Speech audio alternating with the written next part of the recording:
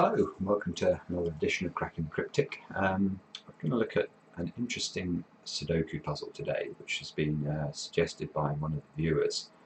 Um, now this is an interesting puzzle for a few reasons, um, one of which is it's pretty difficult and it's pretty difficult at a very early stage. So um, what I've done on the screen at the moment is I've marked in some of the pencil marks that I found uh, just at the beginning of the solve. So those of you who've been following the channel will know what we like to do is in any 3x3 box where we can uh, limit the position of a single number to two cells, then we make little marks. So a 3 could only go in this cell here and this cell here in this top right hand box. Um, and that takes you to this position. I may have missed a couple of pencil marks but I don't think I've missed too much and you can see I've got this interesting little 3-9 uh, pairing up here. And I can use that you can see uh, I can actually lock the position of a 3 in here. So let's just put that in um, like that. Uh, it doesn't really help me at all. Uh, you can see I still need to place 1, 2, 7, 8 in this um, five letter or row 3 in which I have five numbers already but uh, looking at all the checking entries, it's not going to actually allow me to make uh, significantly more progress than I've already made. Uh, the only thing it might allow me to do, I suppose, is to put five, not sixes, fives into those two positions by way of pencil marks, but again, it's not opening up the grid. And so in a speed solving scenario, you'd be faced with a choice um, at this sort of juncture you could go through um, the logic that I'm about to explain to try and um, to try and crack it. Now the problem with that logic is that there is no guarantee, even with a you know half an hour of grid scare, uh, staring, you'll find the logic.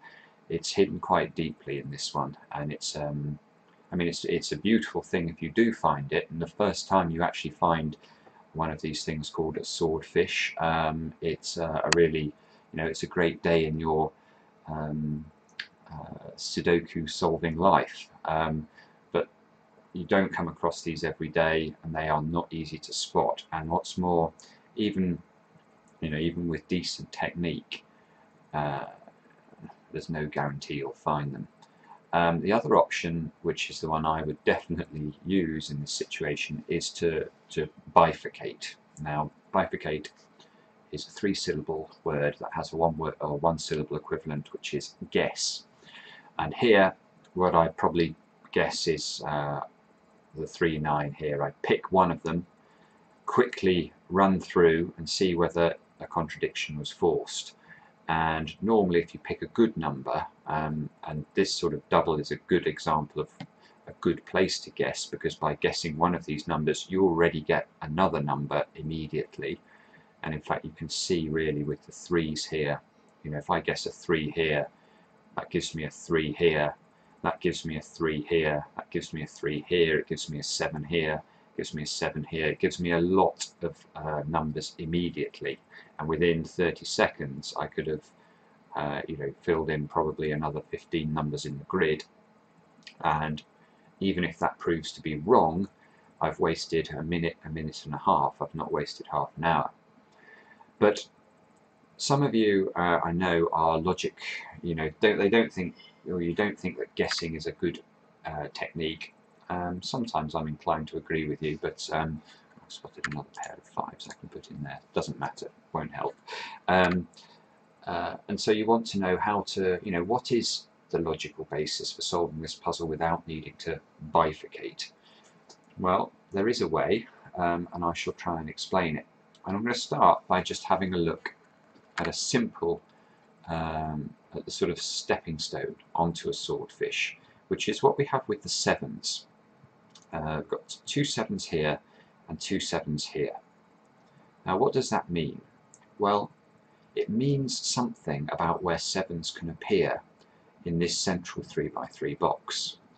Um, because these sevens form a sort of X shape in, in the grid um, and they are locked into columns 4 and column 6. So it's fairly straightforward I think to see that if we put a 7 in this cell that will give us a 7 here. If we put a 7 in this cell, that will give us a 7 here. Either way, whichever way round we choose, there definitely cannot be a 7 here, here, here, here, here, here, here. It's impossible here, here, here, obviously as well. So that will completely rules out 7 from being in the this position, this position, this position, and this position. Now look, we have a 7 here in the middle row. So now I'm actually able to place another pencil mark for 7s in this middle 3x3 box. Um, because of this sort of X, it's called an X-wing type pattern that we see here.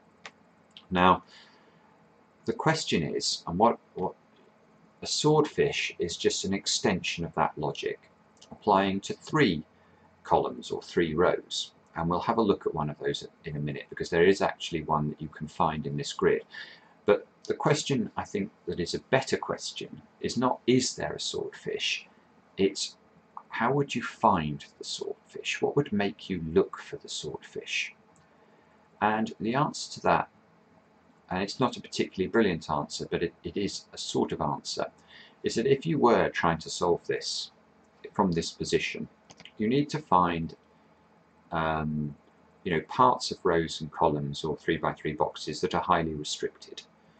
And the normal place you'd start to find those sorts of things are with the uh, rows and columns that contain a lot of given digits, so for example row 3. The other thing you can look for, the slightly more exotic thing you can look for, might be a row or a column that doesn't contain a great deal of uh, existing digits, but it will check a box that contains two or three digits that are not in uh, that are not already given in that row. So let's just take a look, for example, at row 8 here. Now row 8 we have a 7, a 6 and a 9. Now normally you might think, well that's, you know, what use is that? We've got to place a 1, 2, 3, 4, 5 and 8 in this box? Well, the reason it's mildly interesting, and it might attract your attention, is if we scan across to this 3x3 box here, we can see that two of those missing numbers are actually already in this box, and three of the cells in row 8 are open. So there cannot be a 3 or an 8 in any of these cells. Now that means that there must be a 3 and an 8 in two of these three cells where the cursor is at the moment. Now that's quite interesting because if you can narrow that down just slightly further then all of a sudden you'll have a way into the puzzle. Now how can we do that? Well it the answer is it's not easy. Um, and I shall now try and explain what you need to look for. So just going back to it, we know we know we have to place 3 and 8 in these three cells, and we can see a 3 up here. So if I can rule out an 8 from this box here, if this if somehow using some logical technique I can say that this cell cannot contain an 8 then hopefully it's obvious to everybody that then the 3 and the 8 would have to be in this cell and this cell only. Yeah, And that, that would be, I think, quite useful in terms of solving the puzzle. Um, how can I rule out an 8 in this particular square? Now you can see, just looking around, you know, there's no 8s up here. There's an 8 there, but that's not going to do, tell me a great deal about this one. Or is it? Well, this is where we have to think about the swordfish technique. So I want to pay particular attention here to columns 3, 5 and 7. And what I'm going to try and do is I'm going to try and ask ourselves, or I want us to ask ourselves, where can we place an 8 in columns 3, 5 and 7? None of them contain an 8 at the moment. But let's ask ourselves, where could an 8 go? Well, it can't go here anymore because we've limited this cell down to a 3 or a 9. It can go here, can go here, can't go here, and it can go here. It's got, so it's got three positions it could go in in column 3. It can go here. Can't go in any of these three positions because of this 8. And it can go here. So just two open positions there in column 5. And let's look at column 7. Well, it could go here. It could go here. Again, it can't go here. And this time it can't go in either of those cells either. So in fact, it can go in only two positions in column 7. Now let's look at which, whether there is any uh, overlap, if you like, between the places where, the only places where 8s can go in these three columns. Well, clearly, uh, within row 2, there are three positions that are possible. Within row 4, there are two positions that are possible. Now, the only other place is row 8, where there are two positions it's possible. So, in fact, we have exactly the same situation that we had with these 7s, where, you know, if I put a 7 here, we showed there would have to be a 7 here, and, you know, whichever way round I selected it, there was no way more 7s could go in either columns 4 or column 6. Well, here we have the same thing with the 8s.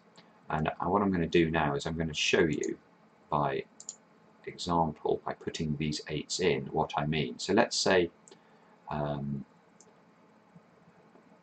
let's say, in fact, we'll start with this, this, this column just because there's only two open positions. Let's say that this was the 8. What would that mean?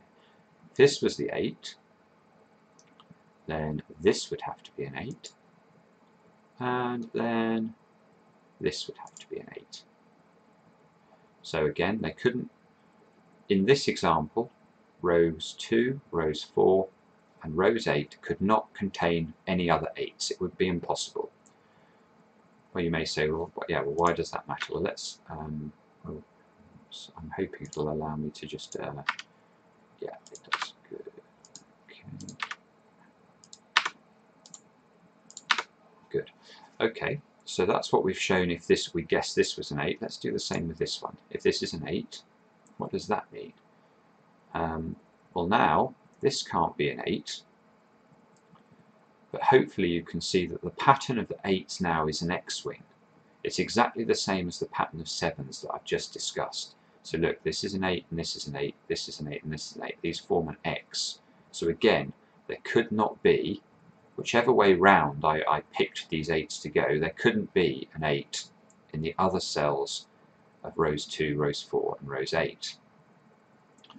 So let's delete that one. Um, so that's for those two. What about this one? What if this was an 8? If this was an 8, again, we get another X-wing, but this time with these 8s. These two 8s here and these two 8s here. Okay, so it's exactly the same as this 7, but this time up here. So again, rows 2, rows 4, and rows 8 cannot contain other 8s. Now, what does all that tell us? Well, all of that tells us that this square here that we were focused on before, we were saying, is there a way of showing, because we know this can't be a 3, is there a way of showing this can't be an 8? Well, there is. Using this swordfish technique, we would be able to say this can't be an 8 either. And therefore, within row 8, we have this situation. So these open four positions have to be 1, 2, 4 and 5 in some order.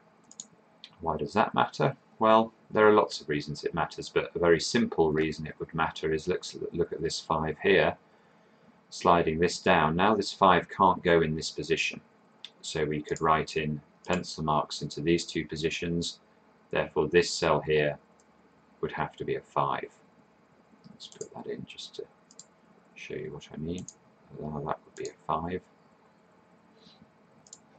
Similarly now, might want to take another look at column 3 because we've got a very restricted column now in the sense we've got 5 given numbers and we know this can't this can only be a 3 or an 8 so you might say where can we place a 4 in column 3 well now uh, only in one position in fact here. Um, and that's quite interesting as well because it affects our swordfish. Um, so let's just show you what I mean there. This would have to be a 4.